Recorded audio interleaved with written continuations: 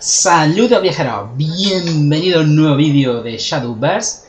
Estamos aquí hoy para ver las cartas nuevas de la mini expansión.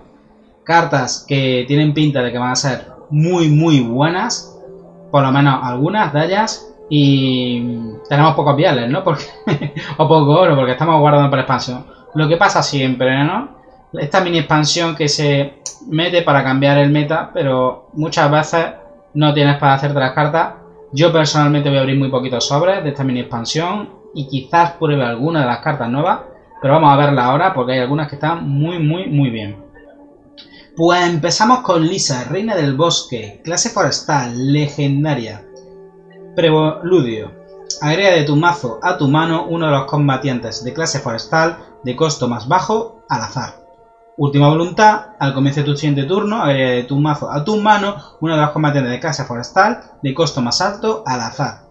Por 3 es un 1-3 que no es muy bueno en estadística, pero sus habilidades son increíbles. Es decir, nos va a permitir buscarnos, entre comillas, una carta de coste alto y una carta de coste bajo. A las malas son dos cartas.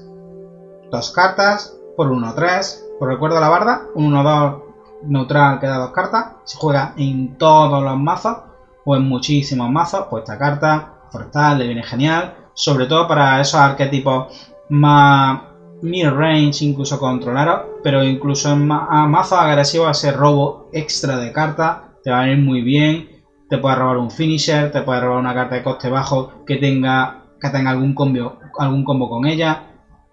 Las posibilidades son infinitas. Una cara que me parece buenísima.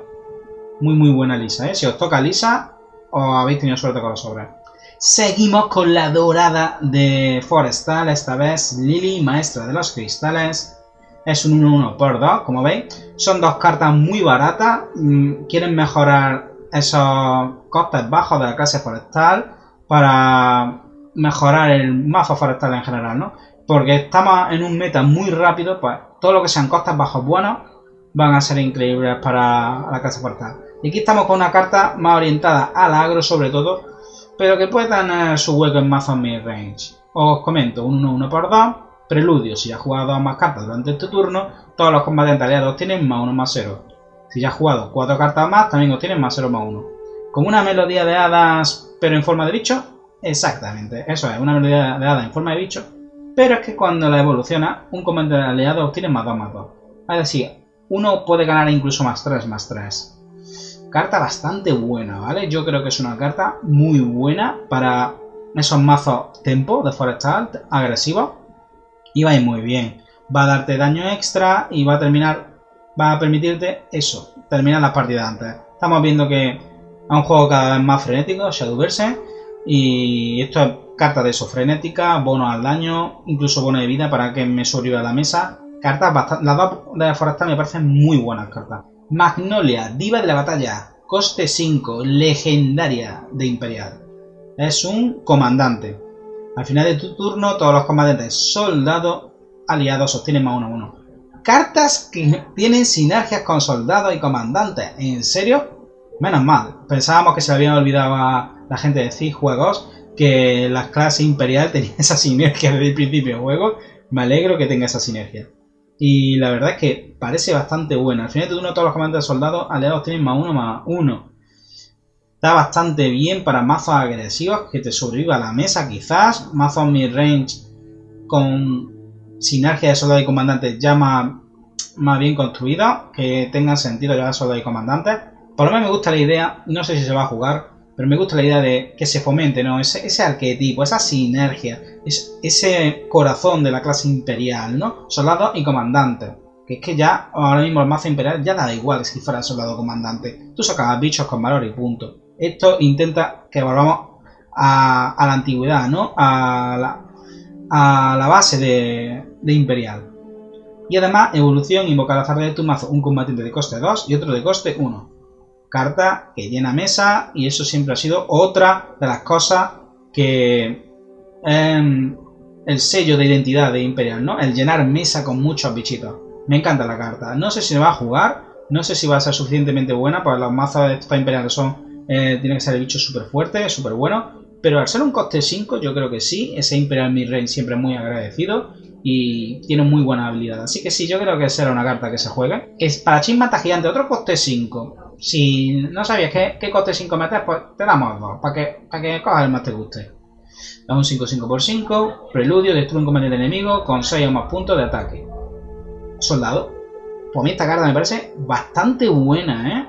Estamos en un mes muy acelerado, pero esos bichos gordos de más de 6 puntos de ataque, esos amuletos de los Tenko que te sacan un dragón 6-6, mmm, esos dragones que tienen bichos gigantescos, esos bichos evolucionados directamente, un bicho con 4 de ataque evolucionado ya tiene 6 de ataque. Y no cuesta nada, simplemente es preludio. Es una carta que me parece muy buena. Me parece tan buena que es que me parece mejor que la anterior. Es decir, la anterior está chulísima, tiene la sinergia, te saca, te la mesa. Pero es que esta es un removal que es un bicho y es un 5-5. Si, si no se juega la anterior carta en un Imperial Midrange, posiblemente es por esta dorada. Sería muy curioso. Me parecen las dos bastante buenas, pero a mí me gusta más esta carta, ¿eh? más esta, esta chismata gigante. Bueno, pues tenemos aquí clase rúnico legendaria, un golem de oricalco, un 5-5, última voluntad, invoca dos esencias de la tierra, agrega un golem de oricalco a tu mano y cambia su coste a 7. Es una carta que está bien, lo juega como 5-5, te lo mueren, saca esencia de tierra. Vale, vamos a ver el atajo. Activa rito de tierra, activa una de efectos al azar. Invoca un golem de arcilla, agrega un rito de tierra de verdad a tu mano, inflige daño al líder enemigo. Repite este efecto hasta que no tengas más símbolos de tierra en juego.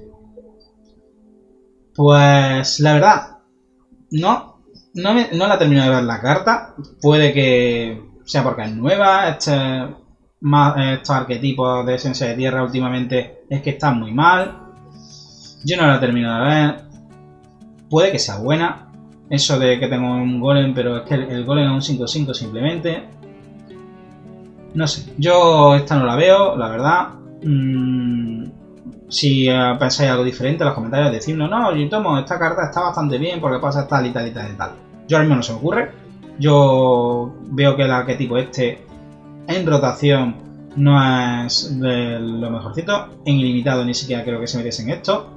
Pero bueno, una carta más extra. Tampoco todo tiene que ser carta buena, porque si no saca una mini expansión. Son todas cartas buenas. Y ahora a ver dónde sacamos los viales. Pero bueno, este golem que a mí no me, me gusta mucho. Ya me diré vosotros. Grea Dracomorfa de Manaria. Por 3, un 2-3. Coste 3 para Manaria. Me gusta, eso ya me gusta, porque el coste 3 que tiene Manaria actualmente, que saca el bichito 1-1, no está mal, pero yo lo cambiaba si podía.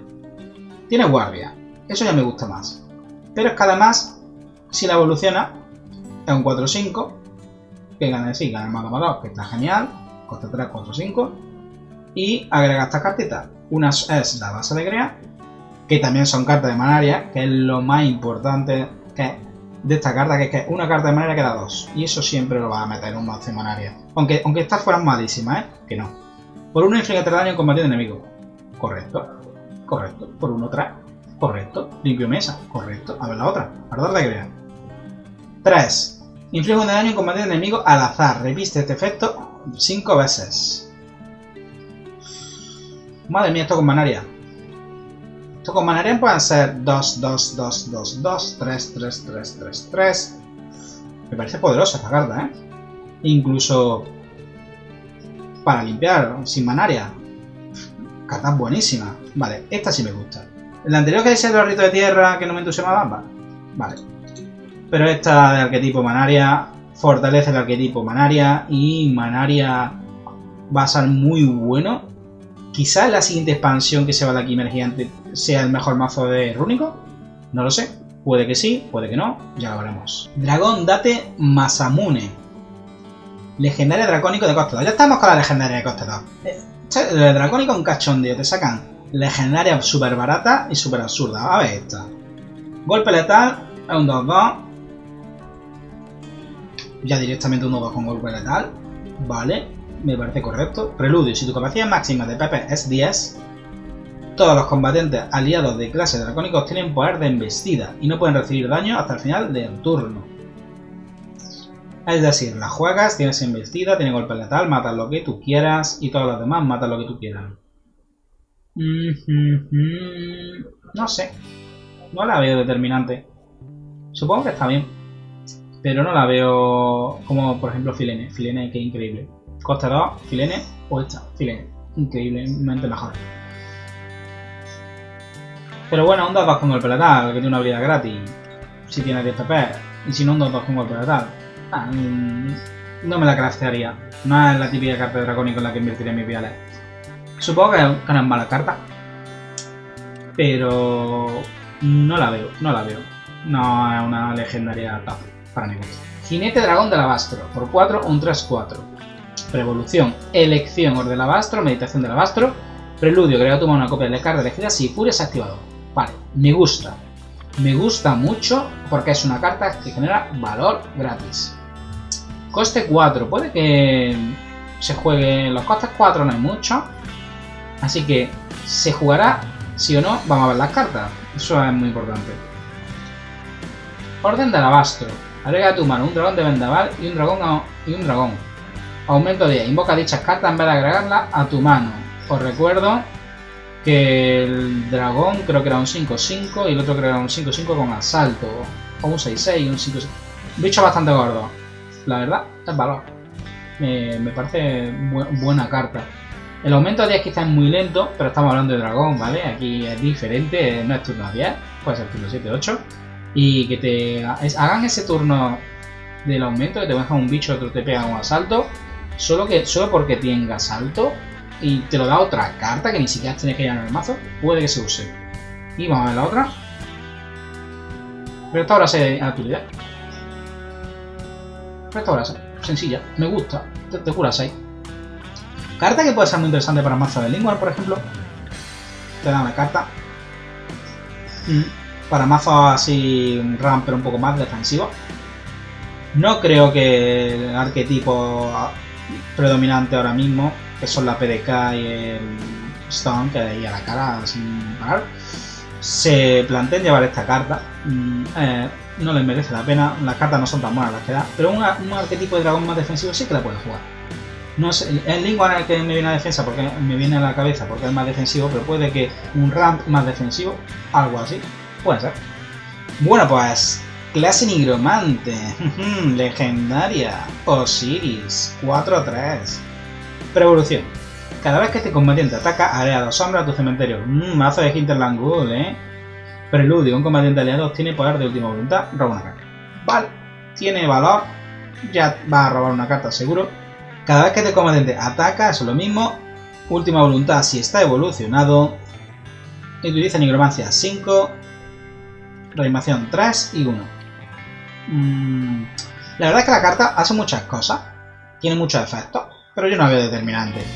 No, tú no quieres coste eh, prefiero el coste 4 incluso actual, el que hace daño cuando entra y punto. Me gusta más. No veo esta Osiris tan determinante, no creo que se juegue. Parece que es muy buena, llenan mucho mesa, que sí. Pero es que para llenar mesa me espero a turno 5 y Cerberus es con preludio. Y esto es como que voluntad. Que llenas pero cuando mueren. Y, y, los costes 3 y los costes 1 no son buenos.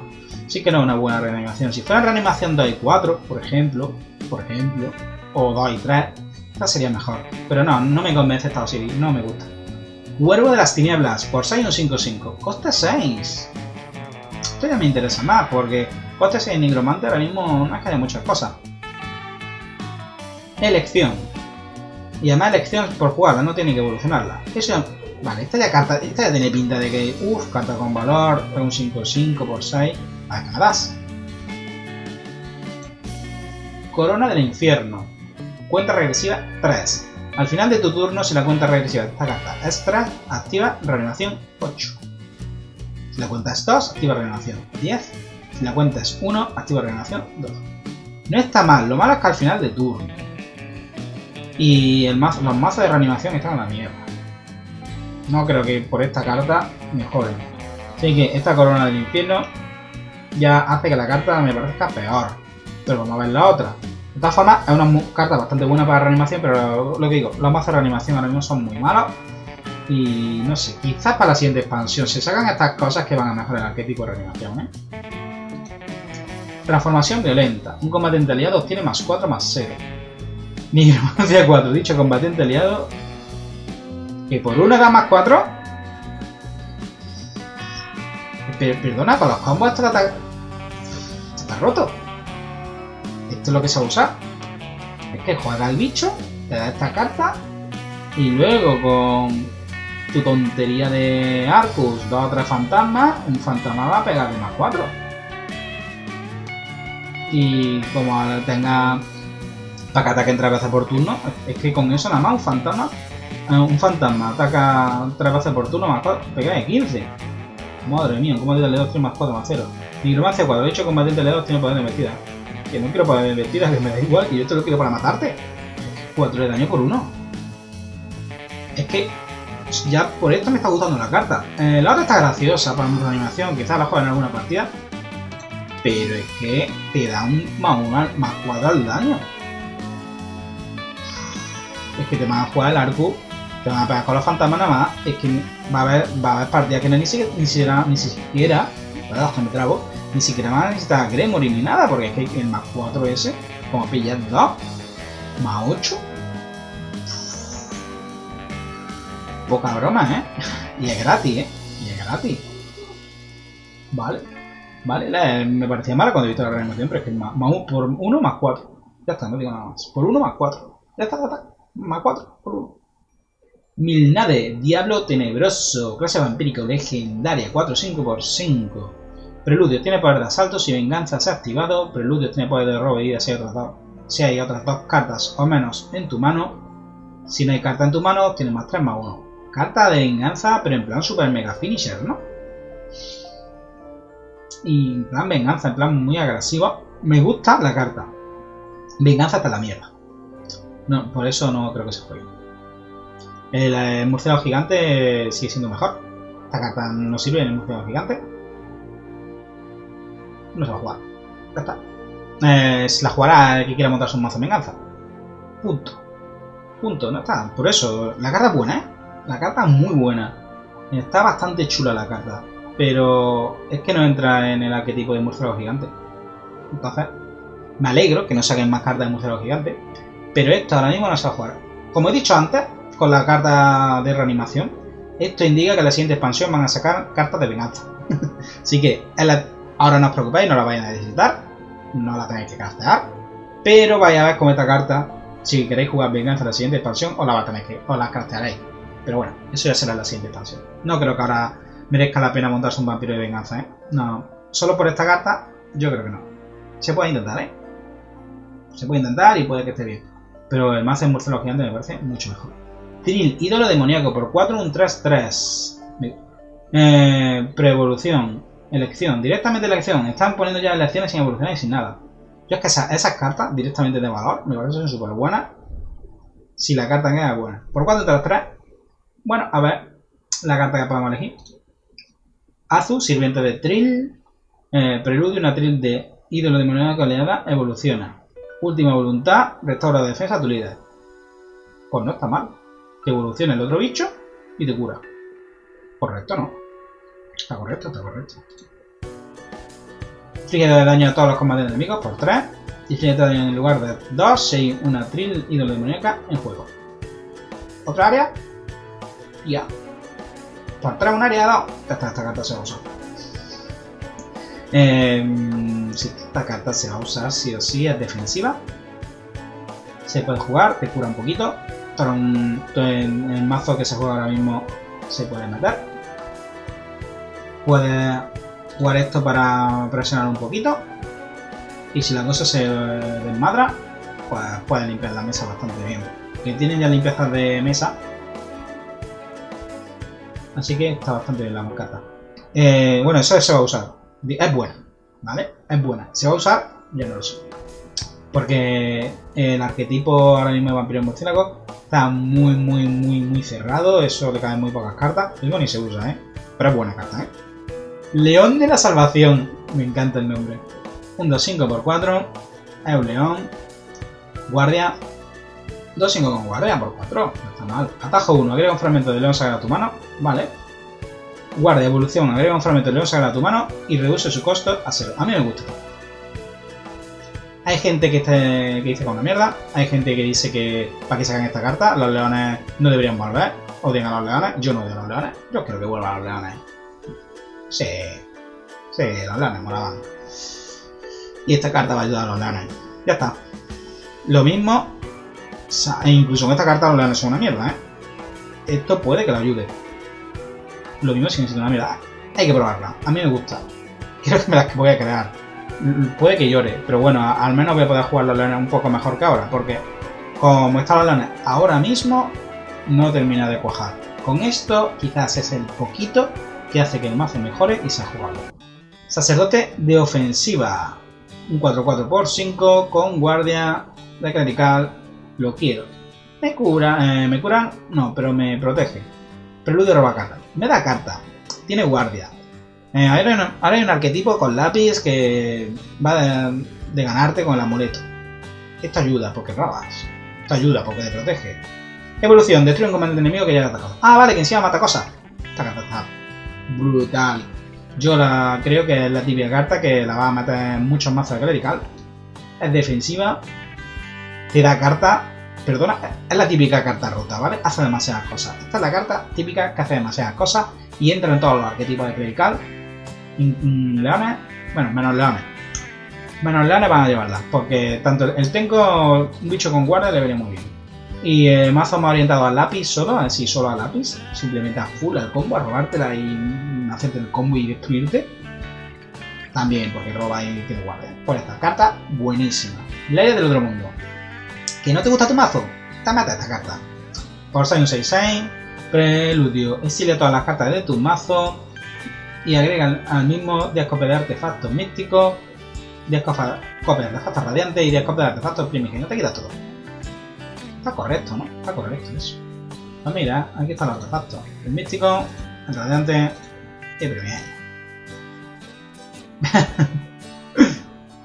está, tiene un... Que no te gusta tu mazo, pues te lo cambias. Eh, yo creo que la carta no está mal, pero vas a jugar solo con esos artefactos. Tienes que tener ya en la mano lo necesario para acabar la, partida. O tener suerte, porque imagínate que empiezan a hacer de primigenio. A ver, te ayudan un montón la verdad es que te ayuda un montón. Si tienes el amuleto ya puesto, por ejemplo, que disminuye la costa de artefactos y le da embestida, es bestial. Juega esta carta con tu el amuleto ya puesto y empieza a generar artefactos, a pegar a la cara. Como, como finisher me gusta, pero yo prefiero de sin máquina. Os lo digo sinceramente, no me metes tantas cosas, pero voy a jugar igual las mismas cosas y ya meto cosas yo de forma natural. Si a alguien le gusta leer el otro mundo porque le hace gracia, pues la jugará. Pero entre Deus Ex y Ley del Otro Mundo me quedo con Deus Ex y ya está. Rukina, jefa de la resistencia, por donde va de dimensional. Los comandantes aliados de clase dimensional no pueden ser destruidos con hechizos ni efectos, pueden ser destruidos al recibir daño. Carta que te salva de cartas que destruyen pero no hacen daño. En área, las áreas suelen ser de daño. Las áreas suelen ser de hacer daño normalmente. Hay algunas que no, pero normalmente son de hacer daño. Así que esto. Y tampoco te quita. Y no te hace inmune al exiliar. Si hiciera inmune al exiliar también, sí que sería. Tendría su utilidad. Pero bueno. No la veo. 2 2 por 2 No mejora ningún arquetipo en específico. Yo no la veo esta carta. Puede. Como carta tech. Si hay algún se llega a jugar algún área que destruya todo o algo así, destruya todo o destruya los otros bichos, cosas, cartas de ese estilo, se puede llegar a jugar de cartas tech. Pero fuera de eso, no la veo una carta muy, muy, muy, muy necesaria. Está bien, simplemente. Y estamos aquí con la carta neutral Lirial, o Fanium Arquera. ¿Os acordáis de Lirial, no? La que cuando evoluciona hace un punto de daño. Pues esta está mejorada. Aumento 7. Hasta el final del turno del oponente, todos los aliados, líderes y combatientes no pueden recibir daño infligido por hechizos ni efectos. Ah. Me la juego y no me puede matar con una quimera gigante. La juego no me puede matar con un murciélago. Carta antiotk. ¿En serio? Eso existe. Me asombra. ¿Me asombra? Pues esto es durísimo, ¿eh? Esta carta yo no sé si va, todo el mundo se va a matar con una baba, pero es que humilla, ¿eh? Mira, eh, murciélago gigante, espérate, que me mata el siguiente turno. No, no, no. Ah, que tú tienes una lisena. Ah, que me va a limpiar y me va a matar. No, no, no, no. Me alegro mucho, porque daba asco, pero total, de plan, "Eh, he perdido porque me hace eh, quimera. He perdido murciélago gigante. Pues esta carta la juega y van a llorar. Van a llorar sangre. Y esto es muy duro, ¿eh? Y además, como evolución inflige de daño a un enemigo y del combatiente. Esto sí es una carta ¿eh? Pero carta touch que te la va a jugar, la va a meter hasta para jugar ladder, ¿eh? Qué buena. Me parece increíble. Bueno, pues aquí todas las cartas nuevas que vienen con aparecido están rotas, son buenas, son malas. Me lo decís vosotros, me enrolla bastante. La verdad que llevamos ya un montón de tiempo grabando. Pero bueno, espero que os guste el vídeo. Mm, no hay gameplay, eh, hablando de cartas. Pero es que salen ya este lunes, creo. Así que nada, vamos a ver qué tal. Me, me parece bastante acertada esta mini expansión. ¿vale? No, no la veo súper pasada. Pero algunas cartas se van a jugar, otras no. Así que está bien. Pues ya sabéis, si os gusta el vídeo podéis darle like, podéis suscribiros para saber cuando subo nuevos vídeos, ponerme vuestra opinión sobre esta mini expansión, todo lo que queráis decir, cosas buenas, malas, mm, lo que queráis, ¿vale? Aquí en mi canal podéis decir lo que os dé la gana, que para eso es mi canal. pues si os gusta el vídeo, pues mucha suerte en vuestro camino, viajeros. Adiós.